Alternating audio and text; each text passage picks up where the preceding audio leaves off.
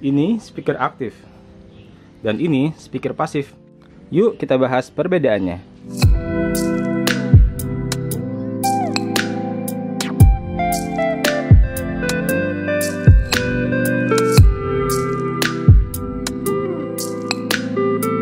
Halo, Assalamualaikum Selamat datang kembali di channel DB Rawan Di video kali ini kita akan membahas perbedaan antara speaker aktif dan juga speaker pasif. Di sini sudah ada speaker aktif dari Yamaha DBR15 dan di bawah ini adalah speaker pasif dari Asley tipenya G15 3 Pro. Secara singkat, speaker aktif adalah speaker yang di dalam boxnya sudah terdapat power amplifier. Sedangkan speaker pasif adalah speaker yang di dalamnya belum terdapat power amplifier. Jadi dia untuk e, menyalakannya memerlukan power amplifier di luar seperti ini. Sedangkan speaker aktif tidak perlu lagi uh, ditambah dengan power amplifier luar dan dia bisa langsung dinyalakan dengan menggunakan listrik di sini. Jadi kalau ini tidak ada uh, input listriknya, listriknya dimasukkan ke power amplifier, baru sinyal audionya disalurkan dari power amplifier ke speaker asli ini. Jadi untuk mengidentifikasi dengan cepat speaker aktif dan pasif itu adalah dengan cara melihat panel belakangnya. Untuk speaker aktif, panel belakangnya biasanya seperti ini. Jadi banyak konektor yang disediakan, yang di antaranya pasti ada input listrik AC in ini dan juga ada input dan output uh, sinyal audio yang lain. Sedangkan kalau speaker pasif itu lebih simple, cuma ada input dan output speaker aja seperti ini. Oke, sekarang kita bandingkan. Ada tujuh hal yang akan saya bandingkan dari speaker aktif dan juga speaker pasif. Yang pertama itu adalah mobilitas. Untuk speaker aktif itu lebih compact, lebih compact menurut saya karena power amplifiernya sudah termasuk di dalam box speaker ini. Berikut juga dengan beberapa uh, fitur-fitur uh, lainnya. Sedangkan untuk speaker pasif itu kurang compact karena kita harus menyediakan space lagi untuk power amplifiernya. Soalnya kalau nggak ada power amplifier, ini nggak akan bisa nyala seperti itu. Kemudian yang kedua, itu perihal fitur tadi biasanya speaker aktif itu fiturnya sudah uh, banyak.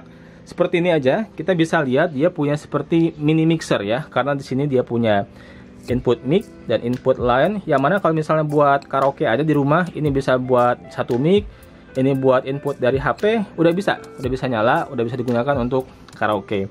Dan di sini pun dia tersedia fitur uh, preset equalizer dalam bentuk DSP dan juga ada crossover untuk memotong frekuensi bawah apabila dikoneksikan ke speaker subwoofer. Sedangkan ya lagi-lagi di speaker pasif semua itu tidak ada.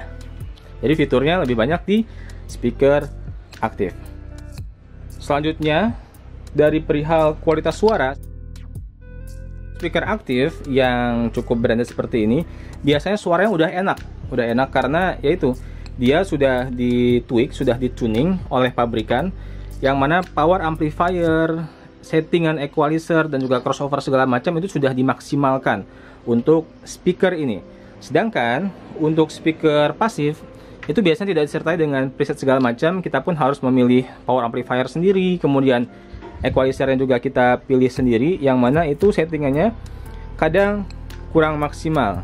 Nah kalau ini dengan semua pengetahuan yang mereka punya di pabrikan itu mereka sudah maksimalkan bagaimana caranya suara dari speaker ini sudah enak bisa langsung dipakai tanpa harus banyak setting-settingan tapi itu tidak bisa menjamin bahwa semua speaker aktif itu lebih enak daripada speaker pasif. Nah, semua itu kembali lagi ke pemilihan komponen, pemilihan power dan juga aksesoris serta kemampuan sang engineer untuk mendesain sistemnya. Dari segi harga, speaker aktif Yamaha DBR15 ini perpasangnya dihargai dengan nilai Rp13.500.000 di tahun 2022 Sedangkan speaker pasif ini harganya 8.400.000. Sekilas memang speaker aktif ini lebih mahal.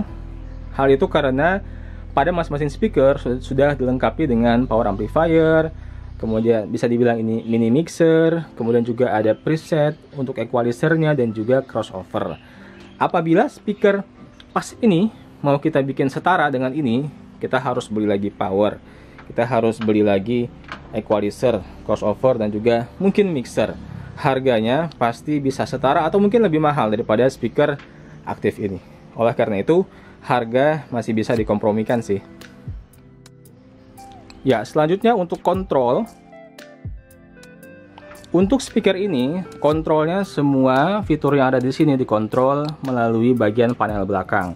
Volume di sini, kemudian preset juga di sini, kemudian juga crossover juga uh, di sini. Sedangkan kalau speaker pasif seperti ini, terserah kita. Kita mau meletakkan powernya di mana, kemudian aksesorisnya di mana, itu sesuai dengan keinginan kita.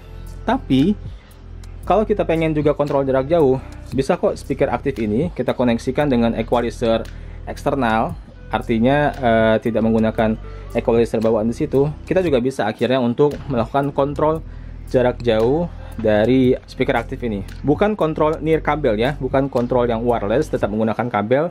Cuma posisi kontrolnya bisa kita atur kalau kita menggunakan uh, komponen pelengkap eksternal, tidak menggunakan komponen internal yang disediakan oleh speaker aktif ini. Selanjutnya perihal perkabelan.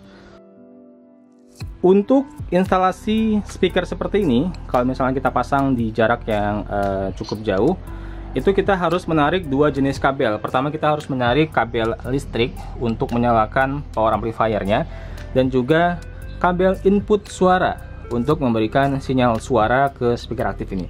Sedangkan untuk speaker pasif ini menurut saya lebih ringkas sih karena kita cukup menarik satu kabel yaitu kabel input speakernya dari power amplifier ke speaker ini. Jadi untuk instalasi perkabelan menurut saya pribadi ini lebih rumit sedikit dibandingkan speaker pasif. Jadi kalau misalnya jujur, saya uh, untuk perkabelan lebih enak melihat perkabelan speaker pasif daripada speaker aktif. Oke, yang terakhir perihal keawetan. Banyak yang bilang lebih awet speaker pasif karena kalau speaker aktif powernya kan di dalam tuh. Jadi kena getaran dari speaker dibilangnya bisa rentan, tapi menurut saya sih itu bukan masalah. Yang jadi masalah bagi saya adalah kalau kena hujan, kalau kita pakai di outdoor. Untuk speaker seperti ini, panel belakangnya ini benar-benar tidak boleh sama sekali kena cipratan air menurut saya. Saya menjaga banget bagian belakang jangan sampai kena air karena di sini banyak banget bolongan-bolongan yang mana air itu bisa masuk ke dalam dan mengenai komponen daripada amplifier dan juga yang lain-lainnya. Sedangkan untuk ini saya nggak begitu khawatir karena apabila speaker sudah dipasang itu biasanya celahnya makin sedikit dan kalaupun ada celah itu tidak begitu sebahayanya speaker aktif kalau kena hujan ya sebenarnya kalau bisa sih ya karena ini tidak didesain untuk anti air ya sama-sama jangan kena air sih ya jadi semua yang telah kita bahas tadi keputusannya apakah akan menggunakan speaker aktif atau speaker pasif itu kembali kepada keinginan pengguna kembali kepada teman-teman. Kalau teman-teman ingin sesuatu yang all in one bisa menggunakan speaker aktif seperti ini. Tapi apabila ingin memiliki sesuatu keleluasaan dalam menentukan power amplifier seperti apa kemudian equalizer kemudian crossover yang seperti apa bisa menggunakan speaker pasif tapi tidak menutup kemungkinan bahwa speaker aktif juga bisa digunakan dengan menggunakan equalizer dan crossover eksternal. Yang tidak bisa itu adalah apabila teman-teman ingin menggunakan power eksternal untuk speaker aktif karena powernya itu sudah ada di dalam sini dan tidak bisa di bypass. Jadi harus menggunakan power yang ada di dalam kabinet speaker ini. Oke, terima kasih telah nonton. Assalamualaikum warahmatullahi wabarakatuh.